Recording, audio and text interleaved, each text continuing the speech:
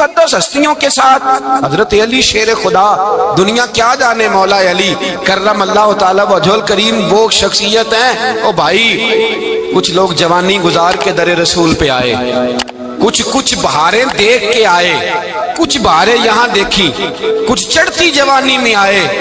अलीगुल मुर्तदा शेर खुदा कहते हैं, मैंने कोई जवानी नहीं देखी। मैं दस साल का था जब नबी पाक के कदमों से लग गया था।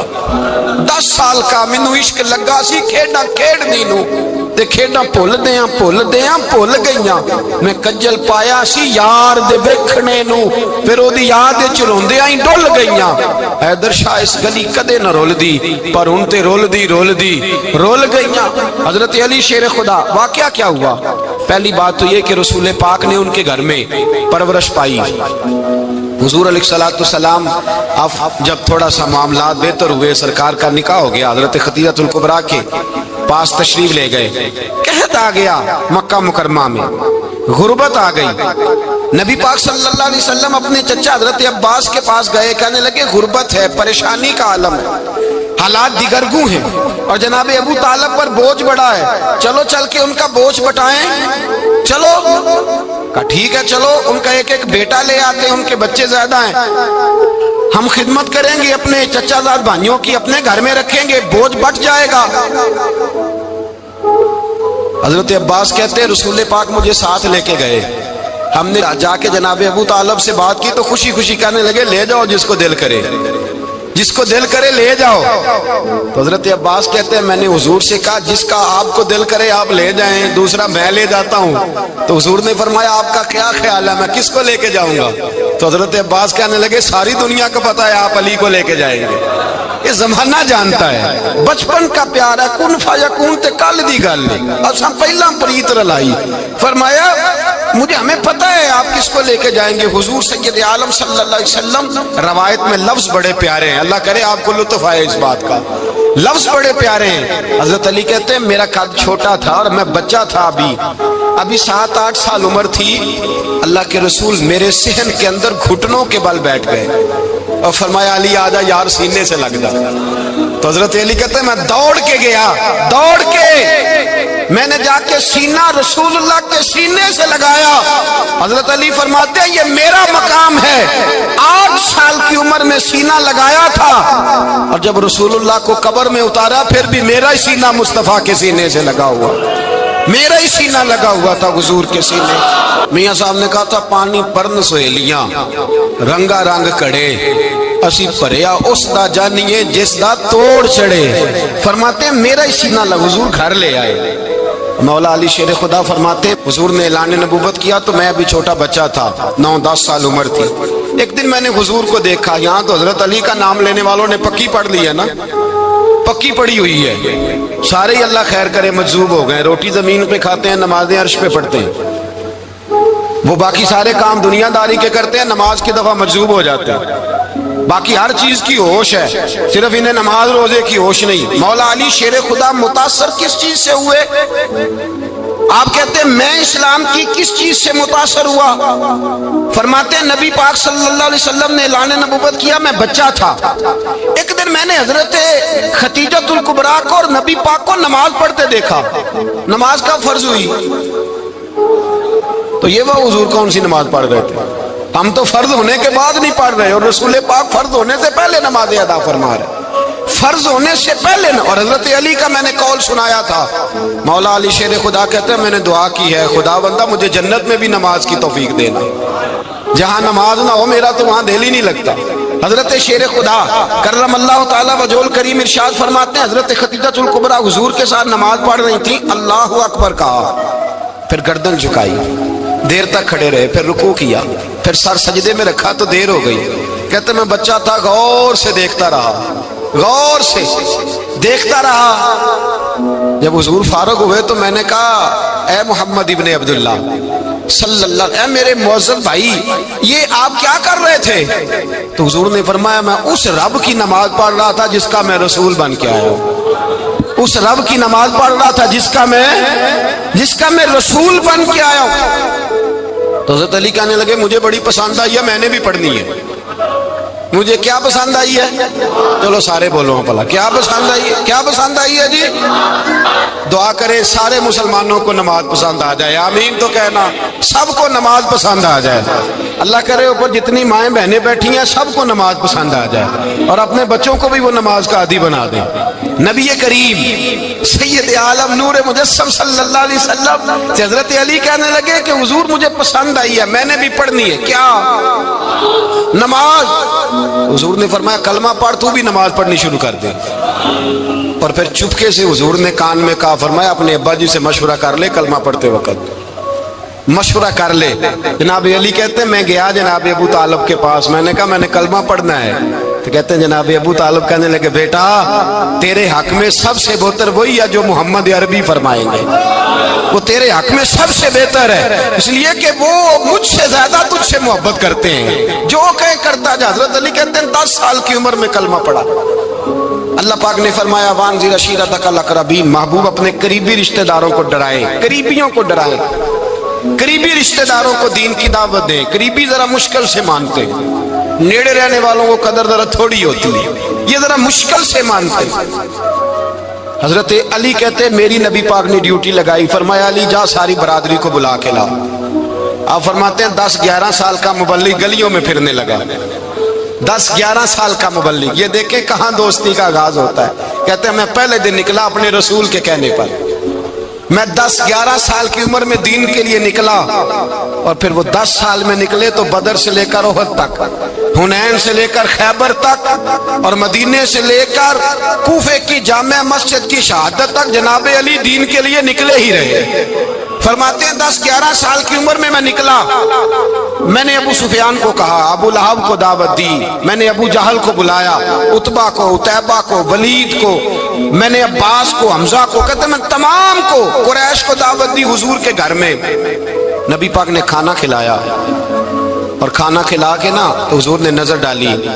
फरमाया, मेरी बरादरी वालों, मेरे चचाओ, मेरे अजीजों, इसलिए बुलाया है कि मैं अल्लाह का रसूल बन के आया हूँ। मैंने सारी दुनिया को ला इलाहा इल्लल्लाह का पैगाम देना है।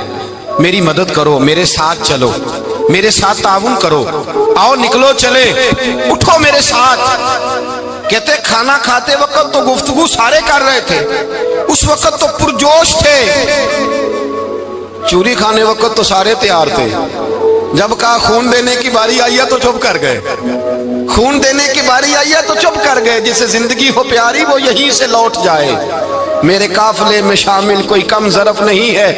कहा, चलो मेरे साथ, उठो। हज़रत अली कहते हैं, हजूर के कचेरा देखते के को पुकारते, तू चल तू चल, पर कोई आवाज़ ना देता। कहते जब मैंने हुजूर के चेहरे पर हल्की सी परेशानी देखी, मौला अली, उम्र दस साल, नौ साल, कहते मैंने हल्की सी परेशानी देखी तो मैं खजूर खा रहा था। मेरी नज़र पड़ी तो मैंने खजूर भी पूरी ना की। मैं पीछे बैठा था, बच्चा जो था, पीछे बैठा था, पीछे। कहते, मुझसे रहा ना गया, मैं उठा। कद पहले छोटा था, उम्र थोड़ी थी, मैंने एड़ियाँ उठा ली। पंजों के बल खड़ा हो गया और यूँ दोनों हाथ फिजा में बुलंद करके कहा, मैंने कहा, या रसूल अल्लाह ये नहीं चलते तो ना चले। अना हाफिजू का या रसूल अल्लाह अना नासिरू का या रसूल अल्लाह हुजूर, आप मैदान में निकले। जहाँ भी ज़रूरत पड़ेगी, अली आपकी हिफाजत करेगा। हुजूर आप मैदान में निकले, दीन को जहाँ भी ज़रूरत पड़ेगी, अली अकेला आपकी मदद करेगा। आप निकलिए। हज़रत अली फरमाते हैं, दस साल की उम्र में मैं अपने रसूल के साथ निकला। आज बड़ी बड़ी कोठियाँ पीरों की, उलमा की। और जो ज़्यादा अली अली पुकारते हैं, वो ज़िक्र करने के ज़्यादा पैसे इकट्ठे करते हैं। वो बेचते फिरते हैं ज़िक्र अहले बैत, बिकता फिरता है। और इसका कदर ज़्यादा जुल्म करते हैं कि अहले बैत का नाम लेकर सियाबई के राम अली मरिदवान पे तान करते हैं। रसूलुल्लाह सल्लल्लाहु अलैहि वसल्लम के गुलामों पे माज अल्लाह तान करते हैं। सुनो, मरहब मुकाबले में आया मरहब। हज़रत अली रदी अल्लाह तला फरमाते, एक हज़ार के मुकाबले में वो लड़ा करता था। मेरे मुकाबले में आया तो कहने लगा, भतीजे, तुझे पता है मैं मरहब हूँ? मैं मरहब तुझे पता है कैसे मुकाबला करोगे? तुम्हें पता है? हज़रत अली कहने लगे, मुझे तेरा नहीं पता, मुझे तो अपना पता है। काब कौन है? फरमाने लगे अनासदुल्लाह व रसूल ही मुझे पता है कि मैं खुदा का भी शेर हूँ, मोहम्मद मुस्तफ़ा का भी शेर हूँ। तुम मुकाबले में तो आ, मैदान लगेगा तो पता चलेगा। जब मैदान लगा तो हज़रत अली ने एक जरब लगाई तलवार ज़्यादा नहीं। एक जरब लगाई। एक जरब लगाई तो कहते हैं उसका सर भी काटा, गर्दन भी काटी, वजूद भी काटा और इतनी ज़ोर से तलवार मारी कि उसके घोड़े के भी दो टुकड़े हो गए। हजूर ने क्या फरमा, अली की तलवार का एक बार दान में, एक बार अली की तलवार का। फरमाया, दो जहाँ में अगर सारे लोग नफली इबादतें करें तो अली को अल्लाह फिर भी ज़्यादा दर्जा आता फरमाएगा। सारी दुनिया की इबादतों से ज़्यादा दर्जा ले गया एक तलवार चला एक तलवार चला और जब खैबर का दिन आया, कई दफ़ा सियाबा कहे, फतह नहीं हुई। मेरे रसूल ने फरमाया, सवेरे मैं झंडा दूँगा और जिसको दूँगा उसे अल्लाह फतह देगा। हज़रत सैयद नाबू रहरा कहते मैंने कान में पूछा, मैंने कहा, हजूर, वो कौन है? जिसको आप झंडा देंगे, चले मुझे कान में बता दे। वो कौन है? तो हजूर ने फरमाया, उसका तारुफ ये है कि वो खुदा से भी प्यार करता है, मोहम्मद मुस्तफ़ा से भी प्यार करता है। हजूर, कोई कोई एक तारफ और तो हजूर ने फरमाया, खुदा रसूल भी उससे बड़ा प्यार करते हैं। हज़रत अली सियाबा कहते हैं सारे मुंतजिर रहे। हज़रत उमर कहते हैं मैं सोया ही नहीं सारी रात कि मेरे हाथ झंडा आने वाला सवेरे मुझे मिलेगी फतह की नदीद और खुशखबरी। फरमाते हैं, मैं सोया ही नहीं। तो हज़रत अली से पूछा, आप किधर थे? जनाब अली शेर खुदा रदी अल्लाह तु फरमाते हैं, मैं तो अपने कमरे में सो रहा था, मेरी तो आँखों में तकलीफ़ थी। मैं सोया हुआ था। पता क्या बना? कोई आया लेके चला गया। कोई उम्र भर भी ना पा सका। मेरे मौला तुझसे गिला नहीं, ये तो अपना अपना नसीब। हुजूर सैयद आलम सल्लल्लाहु अलैहि वसल्लम ने फरमाया आईना अली इब्ने अबी तालिब, अली इब्ने अबी तालिब को बुलाओ। हज़रत अली रदी अल्लाह तआला आए तो आँखों के ऊपर हाथ रखे हुए कहा यार सुल्ला, मेरी आँखों में दर्द है। पर मैं हाथ पीछे कर, अल्लाह ने तेरे हाथ पे फतह लिख दी है। पीछे कर हाथ। हज़रत अली कहते, हुजूर ने लुआबे दहन लगाया मेरी आँखों पे। मुझे पहले से भी ज़्यादा बेहतर नज़र आना शुरू हो गया। हज़रत अली शेर खुदा एक हाथ में तलवार, एक हाथ में चालीस गज ऊँचा था, खैबर का दरवाज़ा, चालीस गज चौड़ा था। हज़रत अली शेर खुदा कहते, मैं अल्लाह अकबर के नारे लगाता मैदान में गया। अल्लाह अकबर के नारे। मैं रसूलुल्लाह का भेजा गया तो मैं शान से गया कि मैंने सीधे हाथ में तलवार थी, उल्टे हाथ से पकड़ के मैंने दो तीन दफ़ा दरवाजे को हिलाया। और अल्लाह अकबर कह के जब मैंने फेंका तो चालीस गज दूर जाके गिरा। चालीस हज़रत अली ने ना कूफे में दावत की लोगों की। जब आप अमीरुल मोमिनीन थे, दावत की। सब लोग आए, एक नौजवान आया जिसने शोरा सुना था पर हज़रत अली को देखा नहीं था। और हजूर ने फरमाया नज़र अली इबादा मेरे अली का चेहरा देखना भी इबादत है। तो एक सियाबी ने कहा, हजूर, जो ना देख सके, फरमाया, ज़िक्र अली इबादा उनके लिए अली का ज़िक्र करना इबादत है। अली का तस्करा करना भी उनके लिए इबादत हज़रत अली को देखा नहीं था, जवान कहता, जब मैं आया ना, मैंने लोगों से पूछा, वो बूढ़े मौला अली किधर है जिन्होंने खैबर का दरवाज़ा तोड़ा था? बड़ी शोहरत है, किधर है? कहते, हज़रत अली साहब ने बैठे थे, मुझे किसी ने कहा, वो बैठे हुए मैं गया तो हज़रत अली अखरोट खा रहे थे। तो पूरा ज़ोर लगा रहे हैं तो अखरोट कोई नहीं टूटता।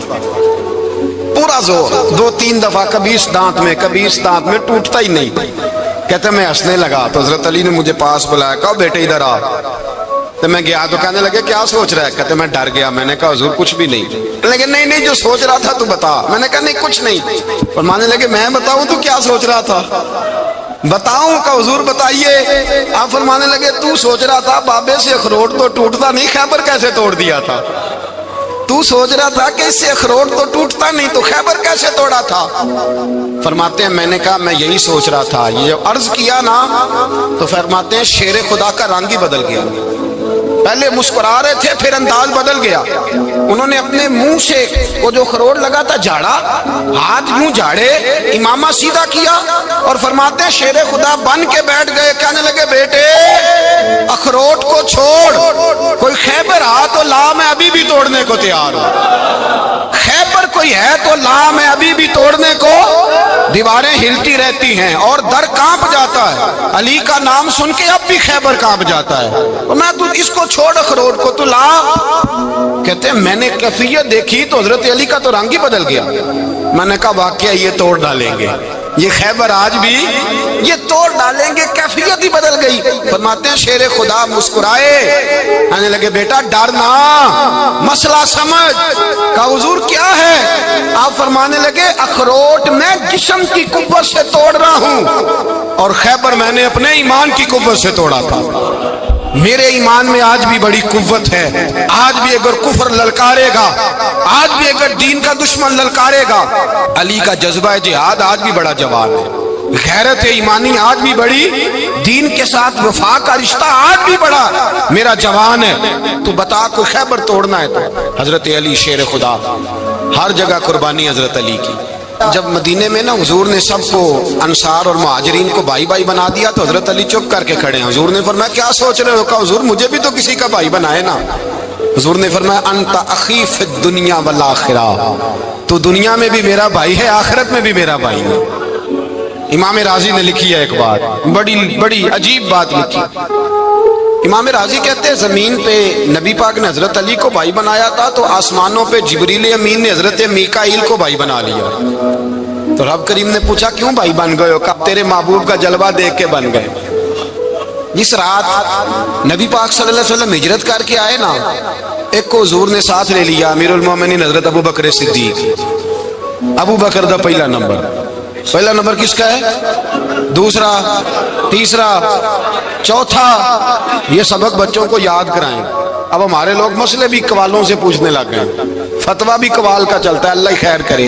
हज़रत अबू बकर सिद्दीक को हजूर ने साथ ले लिया, हिजरत की रात और मौला अली शेर खुदा को बिस्तर पे सुलाया। रस्ते में भी बड़ा खतरा था, पर बिस्तर पे उससे ज़्यादा खतरा था। इसलिए कि जब चादर में लिपटा हुआ कोई शख्स है तो किसी को क्या पता कौन है? अगर आके वो पर्दा ना हटाते, ऐसे ही कत्ल कर देते तो क्या पुरसाने हाल होता? कुछ भी ना होता। इमाम राज़ी कहते हैं, रब करीम ने फरमाया, जिब्राइल, मीकाइल। तुम दोनों कहते थे, हम भी भाई भाई बन गए, बताओ तुम में से कोई एक दूसरे पे जान कुर्बान करेगा? करेगा जान। फरिश्ते खामोश हो गए तो रब ने फरमाया, अब नीचे जरा जलवे तो देखो, अली मेरे रसूल पे जान कुर्बान कर रहा है। जाओ देखो ना जाके जलवे, तुम तो भाई भाई बने थे। फरिश्ते अर्ज़ करने लगे, मौला, हमारी ड्यूटी क्या है? फरमाया, अब तुम्हारी ड्यूटी है कि तुम जाओ ज़मीन पे। दो तलवारें ले लो और अली की चारपाई के ऊपर खड़े हो जाओ। उसने मेरे मुस्तफ़ा पे जान कुर्बान की है, उसकी जान की हिफाजत करो। वहाँ खड़े हो जाओ, खड़े हो जाओ। फरिश्ते भी करते हैं ताजीम मेरी। फिदा हो के उन पर ये इज़्ज़त मिली है।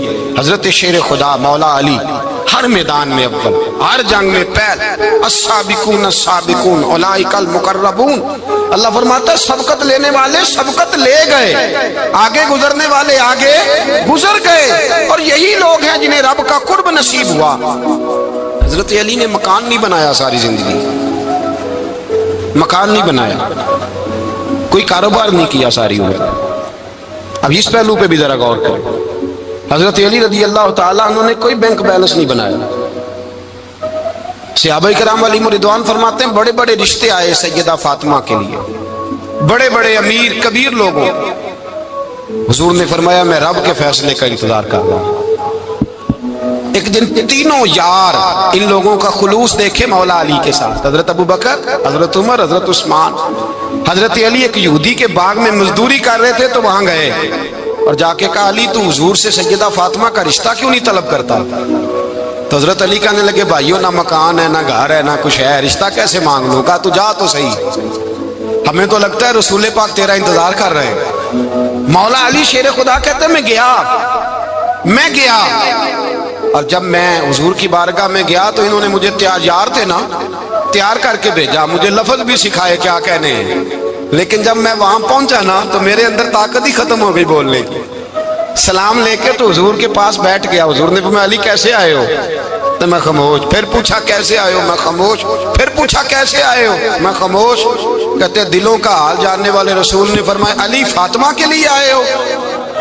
फातिमा के लिए आए हो? तो हज़रत अली कहते हैं, मेरा जवाब बड़ा निराला है। मैंने कहा, हजूर, वो तीनों मेरे पास बाग में गए थे। वो तीनों गए थे, मुझे उन्होंने भेजा है। कहते रसूल पाक मुस्कुरा दिए। फरमाया, अली, उन्होंने नहीं तुझे भेजा। रब करीम ने फातिमा का तेरे साथ निकाह कर दिया है। तेरे लिए फैसला हो गया है फातिमा का। तेरे हक में फैसला हो गया। हज़रत अली सैयदा फातिमा को ब्याह के ले गए तो हज़रत जैद बिन हारसा के मकान में। कोई मकान नहीं। ओ भाई, तू दौलत देख के बेटी की शादी करता है, सरमाया देख के फिर दुआ कराता है, दुआ करें, अल्लाह मेरे दामाद को हिदायत दे दे। मेरे रसूल ने बेटी की शादी की, तकवा देख के, परहेजगारी देख के, दीनदारी देख के, उस शख्स को बेटी दी जो साबिकून साबिकून के दर्जे में शामिल जो इन कौम खैरुल बरिया के दर्जे में शामिल उनको अपनी बेटी दी। हज़रत अली शेर खुदा रदी अल्लाह तनो फरमाते कि सैदा फातमा तजारा को मैं ब्याह खिलाया। सारे घर के काम हज़रत फातमा ने किए। मैं मजदूरी करता दो घंटा या डेढ़ घंटा।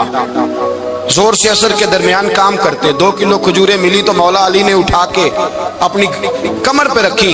बाग का मालिक कहने लगा, अली, थोड़ा काम और कर लो फरमाया दो किलो हो गई बड़ी हैं।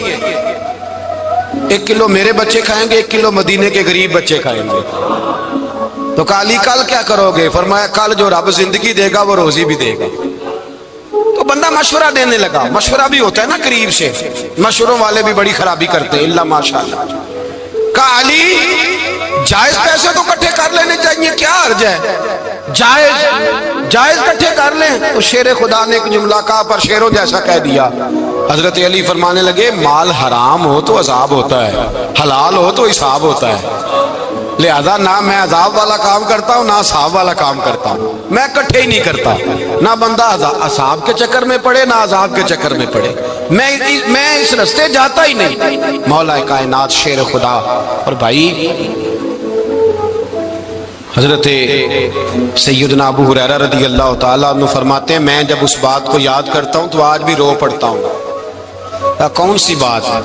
फरमाने लगे, मैं कूफे के बाज़ार से गुजर रहा था तो मौला अली शेर खुदा कूफे के चौक में खड़े थे और हाथ में जीरा पकड़ी हुई थी। वो वाली जीरा जो बदर में भी उनके पास थी। वो वाली जीरा जो ओहद हुनैन, खंदक और खैबर में भी उनके पास थी। जीरा पकड़ी हज़रत अली ने और शेर खुदा कह रहे हो भाइयों, मेरी जीरा खरीद लो। मेरी जीरा अमीरुल मोमिनीन है उस वक्त। अमीर वक्त है, बादशाह है।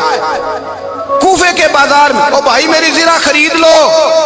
ये बड़ी निस्बत वाली है, बदर ओहद हुनैन में मेरे साथ रही। और शेर खुदा फरमाते, क्या हैं? फरमाते जब अली ने ये लफ्ज कहे तो मेरी चीखें निकल गई। हज़रत अली फरमाने लगे, अगर मेरे पास नया तामद खरीदने के पैसे होते तो मैं इसे कभी ना बेचता। नया तामत खरीदने के पैसे होते तो मैं कभी ना बेचता। हज़रत अली रदी अल्लाह तु ने वो ज़िंदगी गुजारी। बापर्दा परहेजगारी, दरवेशी, सादगी, सारी ज़िंदगी किसी का शिकवा नहीं किया मौला अली ने। बल्कि आला हज़रत फाजल बरेलवी रहमत के खलीफा मौलाना जफरुद्दीन बिहारी। उन्होंने एक अजीब बात लिखी है, कहते हैं, हजूर में राज पे गए तो वहाँ से एक जुब्बा लाए। एक कमरे में दाखिल हुए, जन्नत के कमरे में संदूक खोला सरकार ने।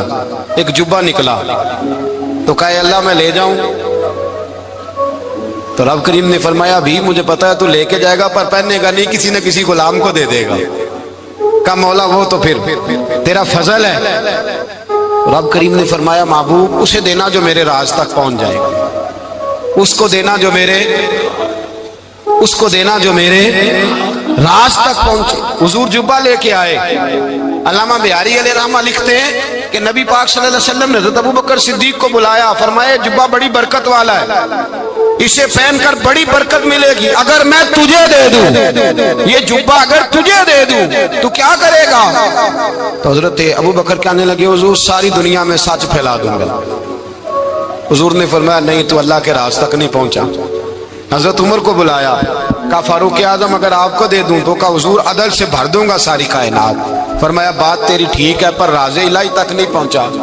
उस्मान, अगर तुम्हें दूँ तो जनाब उस्मान गनी रज़ी अल्लाह तर्ज करने लगे, हजूर, अगर मुझे मिला तो मैं हया की छाव कर दूँगा। हर जवान, हर बच्ची के लिए हया के फैसले करूँगा, अल्लाह ताला की दी हुई ताकत से।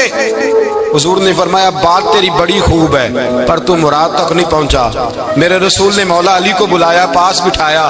फरमाया, अली अगर ये जुब्बा तुझे दूँ तो क्या करेगा? हज़रत अली ने आँख खोल के हजूर का चेहरा देखा। अर्ज़ करने लगे, महबूबा, अगर मुझे मिल गया तो मैं अल्लाह की मखलूक की पर्दा पोशी करूँगा। मैं रब की मखलूक की, मैं पर्दे डालूँगा मखलूक के अबों पर। मैं छुपाऊँगा इस जुब्बे की बरकत से। हजूर की आँखों में आँसू आए पर मैं तू रब के राज तक पहुँचा है जुब्बा तेरा ही बनता है। तू पहुँचा है अल्लाह के राज तक। मेरे हबीब करीम, सैयद आलम सल्लल्लाहु अलैहि वसल्लम की खिदमत में कुछ लोग आए। हुजूर अली ने सख्ती की है हम पर। शेर खुदा ने सख्ती की है बात जंग के मौके पर कहीं सिपा सलार बने होंगे या जो मामला था। सख्ती की है। कहते, हुजूर की बारगाह में लफ्ज कहे तो नबी पाक नाराज़ हो गए। फरमाया, तुम्हें पता है अली कौन है? हुजूर कौन है? फरमाया अली मिन्नी वाना मिनल अली। अली मुझसे है, मैं अली में से हूँ। अली मुझसे है और मैं अली में से हूँ। तुम्हें उसका पता है? मेरे हबीब पाक, सैयद आलम सल्लल्लाहु अलैहि वसल्लम ने बड़ा प्यार। अब यहाँ अली अली कहने वाले, एक तो वो तबका है, मलंगों का, जिनका मैंने रोना शुरू में रोया है। और हम रोते ही रहते हैं। अल्लाह करे इन लोगों का सफाया ही हो जाए। आमीन तो कह दें। और एक वो तबका है, अल्लाह खैर करे, जो हज़रत अली का नाम लेते हैं तो बाकी तीन को पूछते ही नहीं। पूछते ही नहीं। हज़रत अली बैठे थे। हज़रत अबू बकर सिद्दीक आ गए तो देख के मुस्कुराने लगे। तो मौला अली शेर खुदा कहने लगे, अबू बकर हँसते क्यों हो? का हजूर ने फरमाया था, कयामत के दिन अली जन्नत की टिकटें तकसीम करेगा। कहने लगे, लगता है हजूर ने तुम्हें पूरी बात नहीं बताई। तो तबू बकर कहने लगे, पूरी बात क्या है? फरमाने लगे, मुझे नबी पाक ने कहा था, अली, जन्नत की टिकट उसको देना जो अबू बकर से मोहब्बत करे। उसको टिकट देनी है जो अबू बकर सिद्दीक से मोहब्बत करे। उसको टिकट देना जन्नत की। इन लोगों का प्यार, इनकी वफा, और फिर अजीब लोग चक्कर है। लोग कहते हैं, हज़रत अली के हक पे कब्जा हो गया। अली को इतना कमज़ोर ना समझो। शेर खुदा को इतना, अगर हुसैन इबन अली नहीं कब्जा करने देते, यजीद जैसे जालिम को तो अली मुर्तदा शेर खुदा के सामने को टेक सकता है। हज़रत अली शेर खुदा मुशीर रहे जनाब सिद्दीक अकबर के। वफादार रहे हज़रत फारूक आज़म के। और फिर हज़रत अली रदी अल्लाह हो मुहाफिज रहे हज़रत उस्मान गनी के। वो रसूलुल्लाह और सुनो, एक अजीब बात लिखी है बुज़ुर्गों ने। कहते हैं, बदर याहुद में एक जंग में ऐसा भी हुआ कि कपड़ा नहीं मिलता था।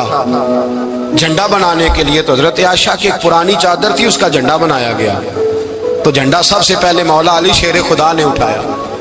हज़रत आयशा सिद्दीका के साथ प्यार मौला अली शेर खुदा रदी अल्लाह यहाँ तो लोग ना जाने कौन सी खिदमत कर रहे हैं। अगर हुजूर के करीब रहने वाले, पास बैठने वालों में आपस में इत्तेफाक नहीं था तो आज मुसलमानों में कैसे पैदा होगा?